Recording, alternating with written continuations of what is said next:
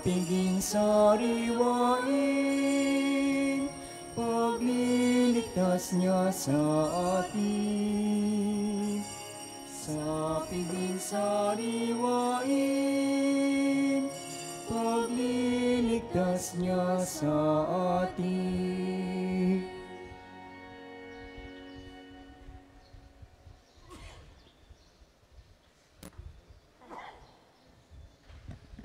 Magandang umaga po sa inyong lahat. Magandang umaga po, Father. Sa karangalan po ng ma- mahal na ina, tayo ay lalapit sa Panginoon upang una, hilingin natin na sana huwag tayong uh, o maligtas tayo sa nakaambang ah, bagyo na naman. Ano, pailan na po ito. Ah, sunod-sunod tayong hinahampas o dinadat na ng bagyo. Kaya tayo ay magdadasal sa Panginoon, sama-sama bilang isang komunidad na tayong lahat ay maligtas. Kasama din po ng ating pagdarasal sa mga may sakit, sa lahat ng inyong mga intensyon, ng mga nagpamisa ngayong umagang ito, at sa lahat ng mga intensyon na sumusubaybay sa atin sa pamamagitan ng ating FB Live, lalo na po yung ating mga overseas Filipino workers na nandyan sa Amerika, sa Europa, sa Australia, at dito din po sa Asia, lalo na po dyan sa Hong Kong, Malaysia, ganun din po sa iba pang lugar, Indonesia, Vietnam, at ah, marami pang iba na lahat sila ay sumusubaybay sa atin sa pamamagitan ng ating FB Live. Simulan po natin ang pagdiriwang sa ngalan ng Ama at ng Anak at ng Espiritu Santo. Amen. Sumainyo ang Panginoon. At sumayin niyo rin. Mga kapatid, atin muna pong pagsisihan ang ating mga nagawang pagkukulang, humingi tayo ng awa at patawad sa Diyos sa ating mga kasalanan. Inaamin ko Sa makapangyarihang Diyos at, sa inyo mga kapatid, na lubha akong nagkasala sa isip, sa salita at sa gawa at sa aking pagkukulang. Kaya isinasamo ko sa mahal na Birheng Maria, sa lahat ng mga anghel at mga banal, at sa inyo mga kapatid, na ako'y panalangin sa Panginoong ating Diyos. Kaawaan tayo ng makapangyarihang Diyos, patawarin tayo sa ating mga kasalanan at patnubayan tayo sa buhay na walang hanggan. Amen.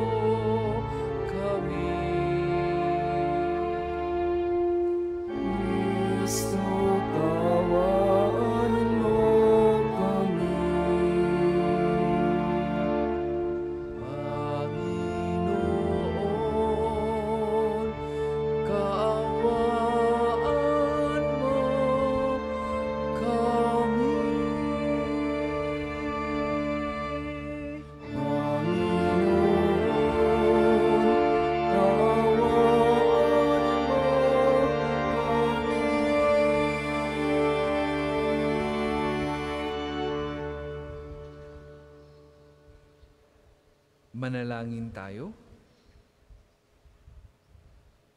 Ama naming makapangyarihan, para mo ng awang ilayo sa amin araw-araw ang lahat ng mga sumasalungat sa amin at humahadlang upang ang aming buong katauhan ay magkaroon ng kalayaan para kusang sundin ang iyong kalooban sa pamamagitan ni Kristo kasama ng Espiritu Santo magpasawalang hanggan.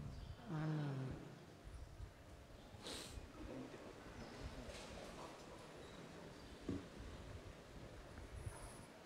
Pagbasa mula sa ikatlong sulat ni Apostol San Juan. Mahal kong kaibigan gayo, ang iyong paglilingkod sa mga kapatid. Kahit hindi mo kilala, ay nagpapatunay na tapat ka. Nagpatotoo sila sa simbahan, rin tungkol sa iyong pag-ibig.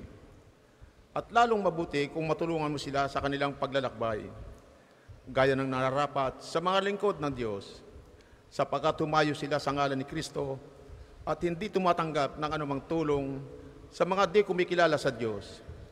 Dapat natin silang tangkilikin upang tayo makatulong sa pagpapalaganap ng katotohanan. Ang salita ng Diyos. Salamat sa Diyos.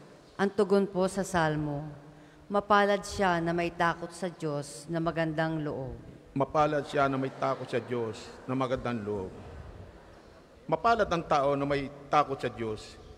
Siyang sumusunod ng buong alindog. Ang kanyang lipi magiging dakila, pati mga angkan ay pinagpapala. Mapalad siya na may takot sa Diyos na magandang loob. Magiging sagana sa kanyang tahanan. Katarungan niya ay walang katapusan. Ang taong matuwid, may bait at habag. Kahit sa madilim, taglay ay liwanag. Mapalad siya na may takot sa Diyos na magandang loob. Ang mapagpautang nagiging mapalad kung sa hanap buhay siya'y laging tapat.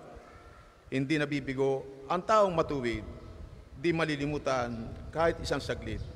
Mapalad siya na may takot sa Diyos na magandang loob. Magsitayo pong lahat.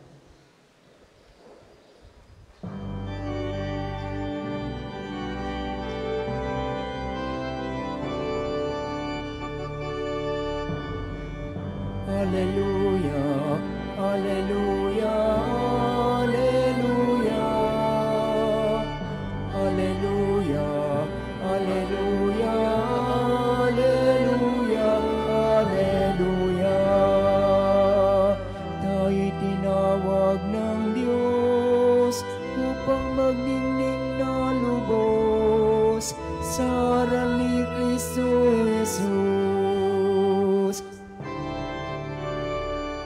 Hallelujah, Hallelujah, Hallelujah,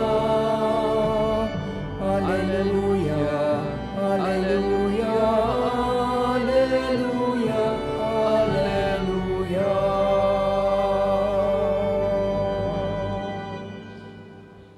Sumainyo ang Panginoon. At sumainyo rin. Ang mabuting balita ng Panginoon na ayon kay San Lucas. Papuri sa iyo, Panginoon. Noong panahong yon, isinaysay ni Jesus sa kanyang mga alagad ang isang talinhaga upang ituro sa kanila na dapat silang manalangin lagi at huwag manghinawa. Sa isang lungsod, wika niya, may isang hukom na hindi natatakot sa Diyos at walang taong iginagalang. Sa lungsoding yon ay may isang babaeng balo na punta ng punta sa hukom at humihingi ng katarungan. Tinanggihan siya ng hukom sa loob ng ilang panahon. Ngunit nang malaunan ay nasabi nito sa sarili, Bagamat hindi ako natatakot sa Diyos ni gumagalang kaninuman, igagawad ko na ang katarungang hinihingi ng babaeng ito sapagkat lagi niya akong ginagambala. Baka pa ako maini sa kapaparito niya. At sinabi ng Panginoon, narinig ninyo ang sinasabi ng masamang hukom. Hindi ipagkakait ng Diyos ang katarungan sa kanyang mga hinirang na dumaraing sa kanya araw-gabi, bagamat tila nagtatagal iyon. Sinasabi ko sa inyo, agad niyang igagawad sa kanila ang katarungan. Ngunit pagdating ng anak ng tao sa daigdig na ito, may makikita kaya siyang mga taong nananalig sa kanya? Mga kapatid, ang mabuting balita ng Panginoon. Pinupuri ka namin, Panginoong Heso Kristo. Bago po ang lahat, atin munang wine-welcome ang ating mga iba't ibang ah, pilgrims. Ah, ngayong umagang ito dito sa Pambansang Dambana. Ang nababasa ko lang po ay St. John Marie Association ng Molino. Molino, ano po? Welcome po. At itong mga naka-blue, taga saan naman po kayo? Taga Cubao. Ayan. At alam ko rin na may mga ilan pang mga grupo, maliliit na grupo na naririto ngayon. Welcome po sa inyong lahat.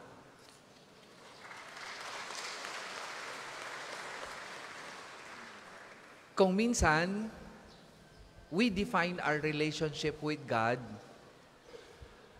according to the frequency of our answered prayers. Kapag ka ang Diyos ay tumugon ka agad sa ating hiniling, ay di maganda ang relationship natin sa Kanya. Sinasabi nating ang Diyos ay maawain, ang Diyos ay mahabagin. And somehow, nakakadagdag ito ng tiwala at pananampalataya natin sa Kanya. E papaano kung yung panalangin natin ay ang tagal-tagal na nating hinihiling ay hindi pa niya tinutugon? Does it affect our relationship? Of course. Nanghihina ang ating loob. Kung minsan, hinihiling natin na, sana Lord, ma-promote ako sa trabaho. Ganun nga ang nangyari. No? Kung hindi man agad-agad, after a week, after a month, or after siguro, uh, after a year, na-promote nga kayo. At tuwang-tuwa naman kayo. O, Hiniling ninyo na, sana Lord, magkabahay na kami at nagkaroon nga kayo ng bahay. Hiniling ninyo na makapasa sa board exam ang inyong anak at magkatrabaho, ganun nga. Hiniling ninyo na maka-abroad kayo, ganun nga ang nangyari. No? Pero meron din, kung minsan tayong hinihiling, na hindi kaagad-agad maibigay ng Diyos. No? Hindi dahil sa ayaw na, kundi gusto niyang tingnan ang ating pasensya. Siguro ang ilan sa inyo, pabalik-balik na rito. Sinasabing, Lord, pagalingin mo naman po ako sa aking karamdamang malubha. And you keep on coming back, but until now, for several years, your prayer or your prayers have not been answered. Does it affect your relationship to the Lord? Ngayong umagang ito, mga kapatid, Diyan tayo dinadala ng mabuting balita. Huwag sanang masukat ang ating pananampalataya sa Diyos dahil lamang sa hindi pa tinutugon ng Diyos ang ating panalangin. Ang ganda ng assurance sa ating lahat na humihingi ng awa sa Diyos sa pamamagitan ng mabuting balita. Ang Diyos ay tutugunin ang panalangin ito. Tinuturuan lamang tayong maging matyaga. Tinuturuan lamang tayong maghintay. Tinuturuan lamang tayong sa pamamagitan nito ay lumakas ang ating pananampalataya at pag-asa sa Kanya. Bakit ganun? Sapagkat may mga bagay talaga sa buhay natin na hindi natin kontrol. Halimbawa, control ba natin ang weather? Hindi ah. Kung tayo ang tutugunin o kung tayo ang masusunod, abay ayaw natin ang sunod-sunod na bagyo. Sinimulang kay Christine, sumunod ay si letter M, nakalimutan ko na sa dami na, si Nika, si Ophel, ngayon si Pipito. These are things that are out of our control. At marahil, dahil dito, may mga bagay din tayo na hinihingi sa Diyos na naapektuhan nito.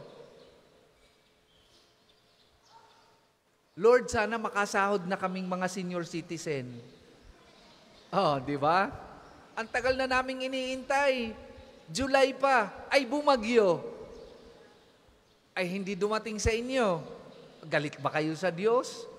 Wala na ho kaming pambili ng maintenance medicine. Naubos na. Sa susunod na buwan, mamamalimos na kami. Manghihingi na kami dahil hindi pa duma, hindi pa kami sumasahod sa aming pensyon. These are things out of our control. And yet, hindi ito dapat makaapekto sa ating relasyon sa Diyos. Bagkos ito ang magdala sa atin para kumapit at lakasan ang ating pananampalataya at pag-asa sa Kanya. Patience is a virtue. Kapag ka tayo ay matyaga, dyan lalong pinaniningning ang ating paniniwala. Kapag ka tayo ay hindi gumigive up sa ating paniniwala, dyan lalo ipinakikita kung sino tayo bilang mananampalataya.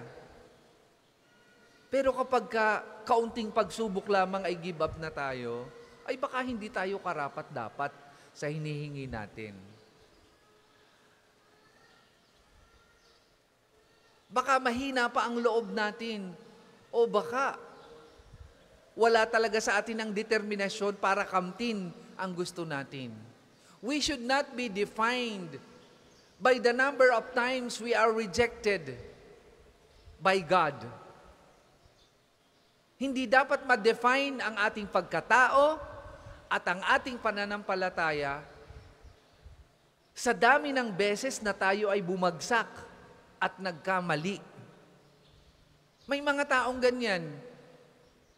Hindi lang pumasa sa board exam, hindi lang natanggap sa trabaho, hindi na uli sumubok, takot nang sumubog, sumubok, duwag, walang pananampalataya, walang pag-asa sa Diyos. Hindi tayo magtatagumpay kapag kaganyan ang ating disposisyon sa buhay. No guts, no glory.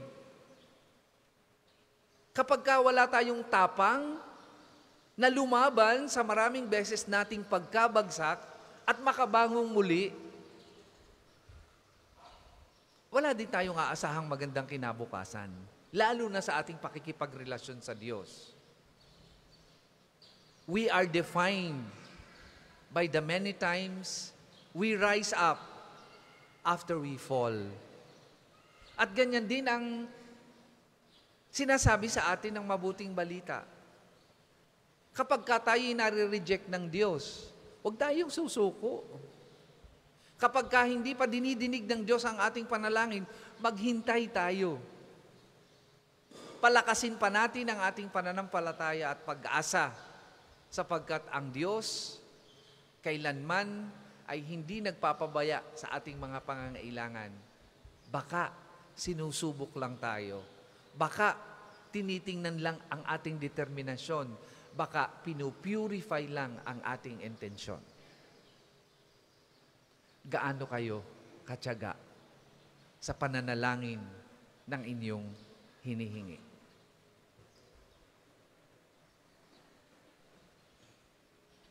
Para po sa mga maghahandog ng sobre, pakihulog na lamang po sa buslo.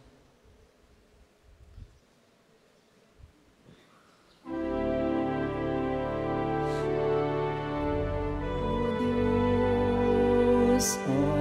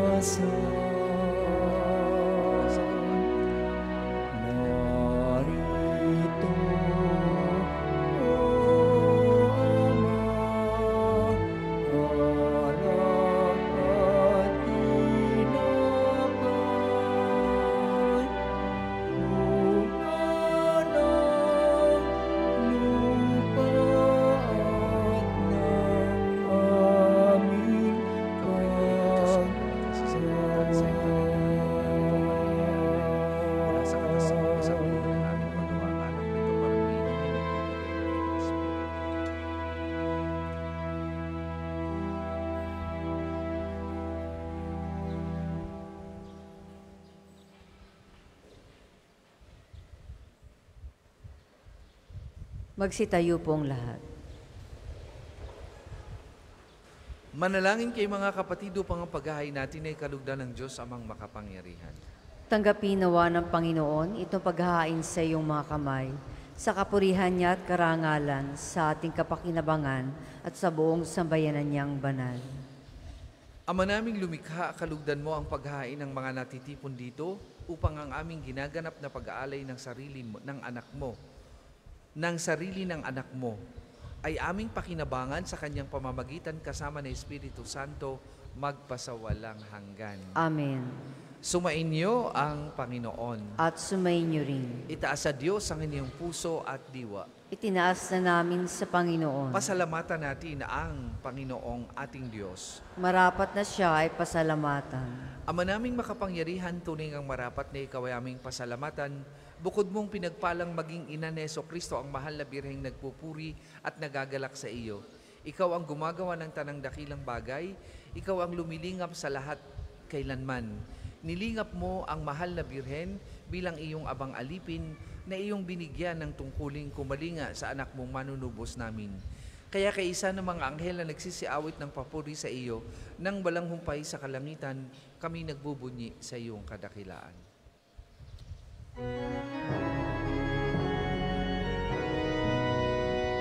Banal ka po may kapal, banal ang iyong pangalan, banal ang iyong kaharian. Langit lupa'y nagpupugay sa iyong kadakilan.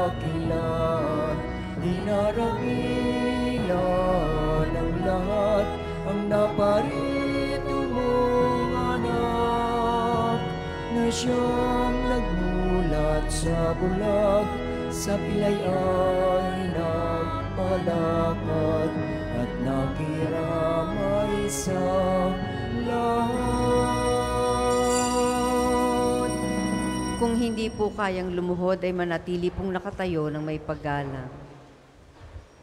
Ama naming banal, ikaw ang bukal ng tanang kabanalan, kaya't sa magitan na iyong Espiritu gawin mong banal ang mga kaloob na ito, upang para sa amin maging katawan at dugo ng aming Panginoong Heso Kristo. Bago niya pinagtiis ang pusang loob na maging handog, hinawakan niyang tinapay, pinasalamatan kanya. Pinaghati-hati niya yun, iniabot sa kanyang mga alagad at sinabi, Tanggapin ninyong lahat ito at kanin. Ito ang aking katawan na ihahandog para sa inyo.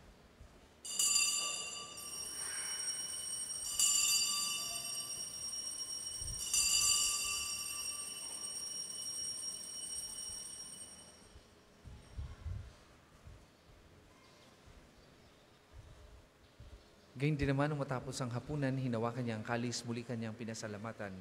Iniabot niya ang kalis sa kanyang mga alagad at sinabi, Tanggapin ninyong lahat ito at inumin. Ito ang kalis ng aking dugo, ng bagot walang hanggang tipan. Ang aking dugo na ibubuhos para sa inyo at para sa lahat. Sa kapagpapatawad ng mga kasalanan, gawin ninyo ito sa pag-alaala sa akin.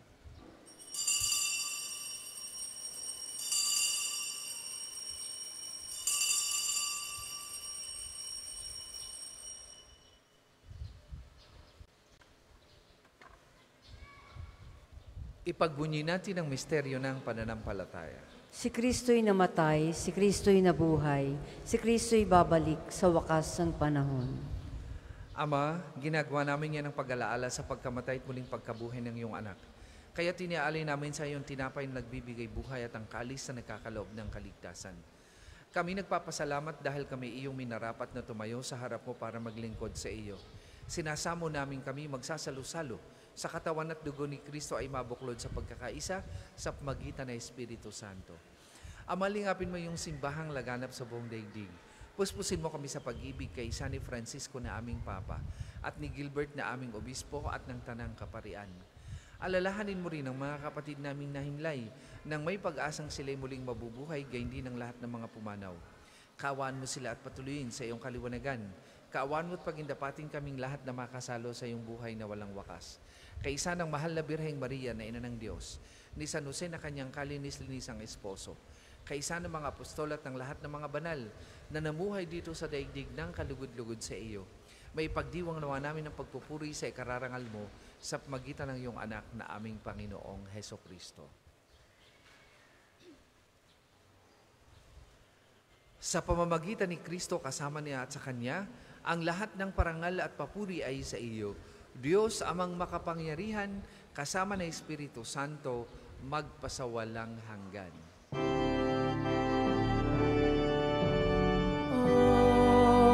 Amen.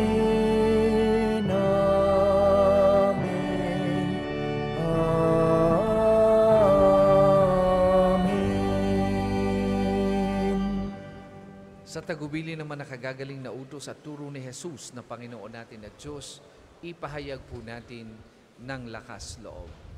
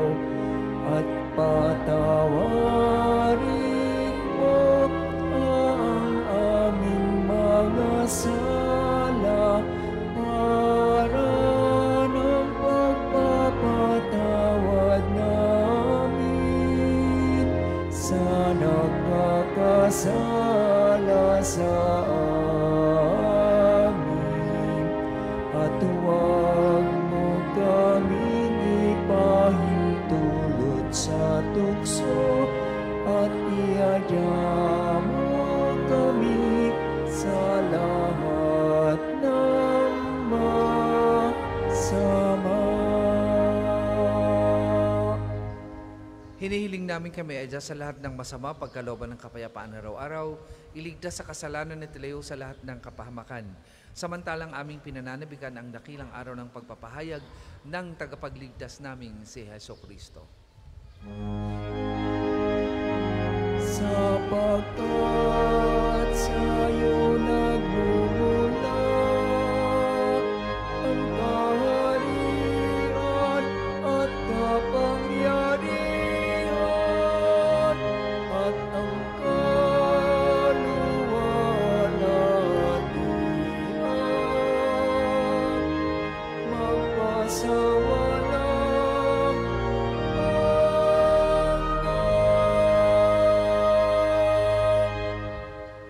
Panginoong Kristo, sinabi mo sa iyong mga apostol, kapayapaan ang iniiwan ko sa inyo, ang aking kapayapaan ang ibinibigay ko sa inyo.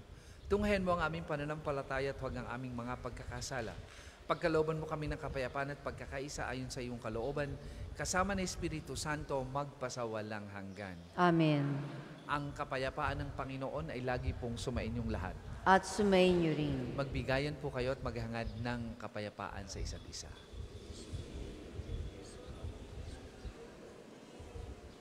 Kordero ng Diyos na nag-aalis sa mga kasalanan ng sanlibutan, maawa ka sa amin. Kordero ng Diyos na nag-aalis sa mga kasalanan ng sanlibutan, maawa ka sa amin. Kordero ng Diyos na nag-aalis sa mga kasalanan ng sanlibutan, ipagkaloob mo sa amin ang kapayapaan. Kung hindi po kayang lumuhod, ay manatili pong nakatayo ng may paggalang.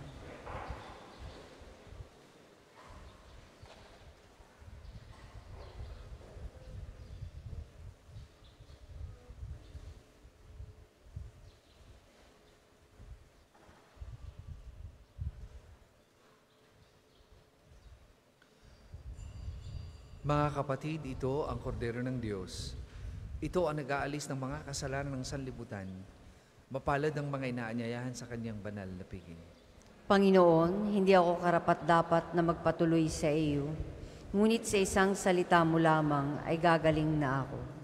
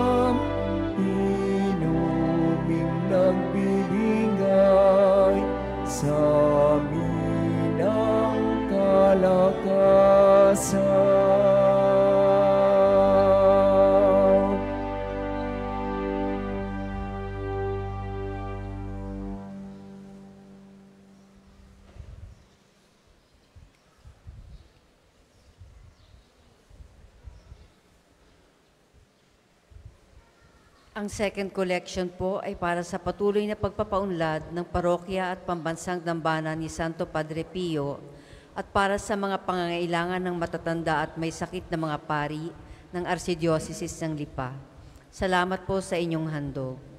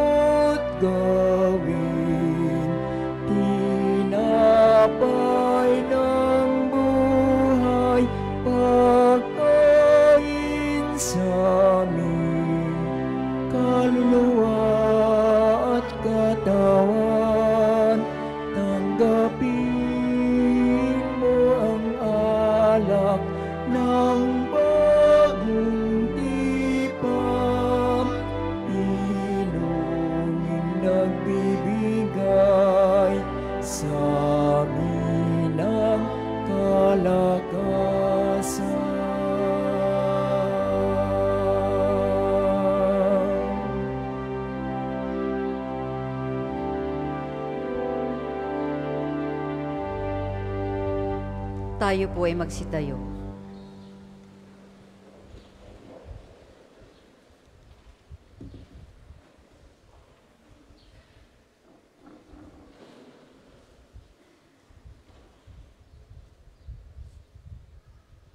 Manalangin tayo. Ama naming mapagmahal, tinatanaw naming utang na loob ang banal na pakikinabang at iniluluhog namin ang Espiritu Santo ay mag-umapaw sa kalooban naming kanyang tinigib ng iyong kadakilaan upang ang iyong kagandahang loob ay manatili sa aming palagian sa magitan ni Kristo kasama na Espiritu Santo magpasawalang hanggan. Amen. Panalangin ng pagtitiwala kay Santo Padre Pio. Padre Pio, taga Petrelcina, mongheng banal, pintakasing santo ng milenyong kasalukuyan, gabay namin sa pagtahak sa landasing makalangit, takbuhan sa pangangailangan, huwara ng pagtitiis. Sa iyo namin inilalapit aming mga kagipitan, sa iyo po binibilin kalusugan at kabuhayan.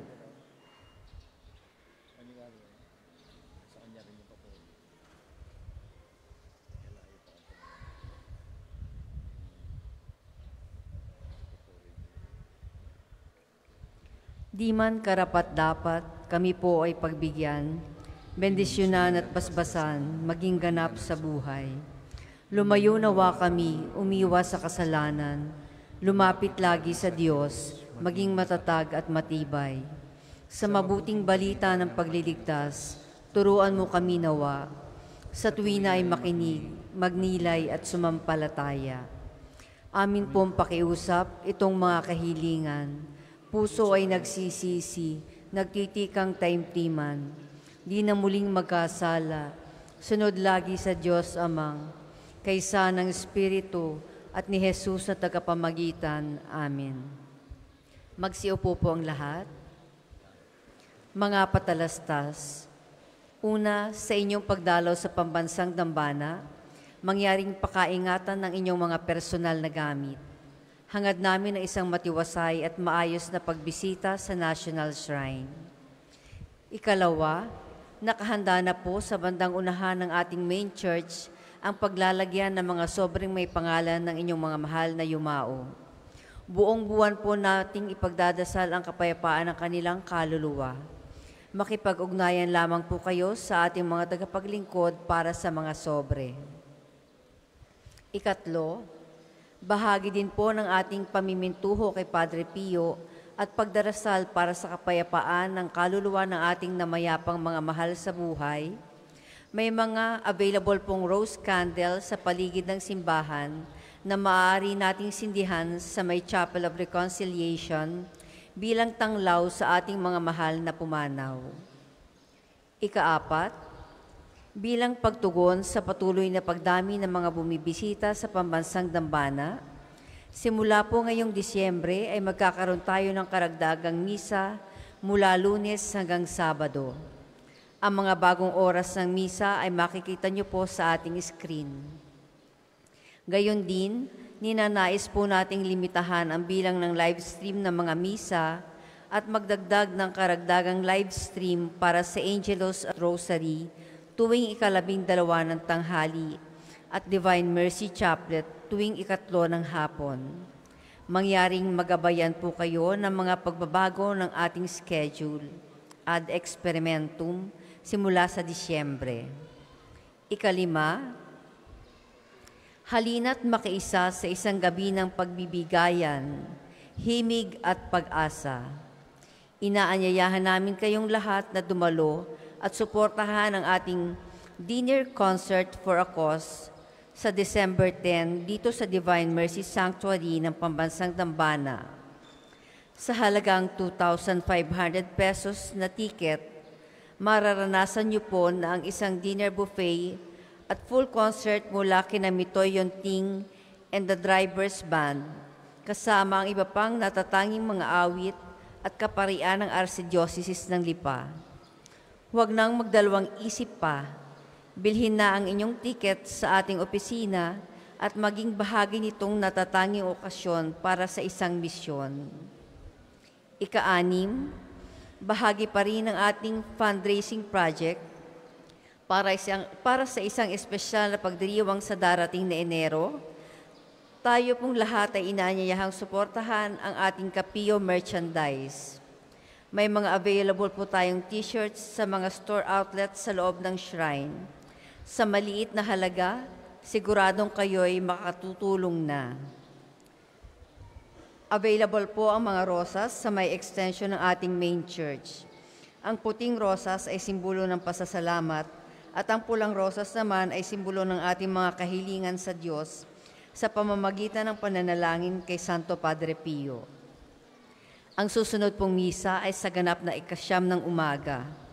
Maraming salamat po at mangyaring panatilihin natin ang kalinisan, katahimikan at diwa ng pananalangin sa loob at labas ng ating mga simbahan. Magsitayo na po ang lahat para sa pagbabasbas ng religious articles. Simula po lunes, para po sa inyong kaalaman, atin pong completely na isasara ang tulay. Hindi mo na po makakadaan na ang mga tao para po simulan ang ah, rehabilitation ng ating tulay na nasira dahil sa bagyong Christine. Tapos na po na ma-review ng MDC ang ah, design, ganon din po ang ah, ilang mga technical matters base po doon sa nag-assess ng ating tulay at sa lunis po ay sisimulan na natin ang actual rehabilitation. Ah, sisikapin po natin na bago magsimbang gabi ay muli tayong makabalik sa ating normal na daloy ng ah, pagpunta rito sa Pambansang Dambana. Marami pong salamat. Mga kapatid, manalangin tayo sa Diyos, amang makapangyarihan, upang tayo maging kawangis ni Kristo sa taimtim na pagdalangin sa tulong ng mga larawan at mga dasalan.